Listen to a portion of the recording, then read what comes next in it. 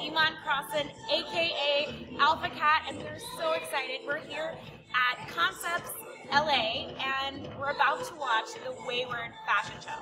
This is actually really cool because you're wearing one of Wayward's pieces, right? Yes, I am. One of, one of his uh, jackets. And that's like a really nice, like, military, kind of like super masculine. I feel like a biker. Yeah, you look really, really cool right now. Like, I feel like you could just like kick down a door.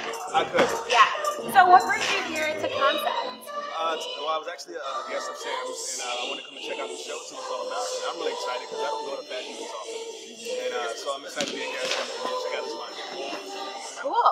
Okay, great. Is there anything that you're like looking forward to? Like, are there any? Is, is there any like certain piece that you're like dying to see? Or Well, I noticed that a lot of his models are like more like stature, very tall. Um, so I'd be curious to see what kind of pieces he has that would fit me or like Yeah. be good for me because you know you I don't see that often. A lot of times like you know people aren't as tall. At least guys, I don't find a lot of like really cool clothes for tall guys. yeah, So it'd be interesting to see what he has. definitely, definitely. So we're really, really excited to talk to you because you've got some kind of cool stuff coming up. Can you kind of walk us through what's next for you? Well, I just came back from the White House, meeting with the president. That's That was- amazing. I'm actually from Virginia, so that's Really? like yeah, I'm from Virginia, so I'm all about the DC, DC area, DC, DC, life. DC swag. Yes.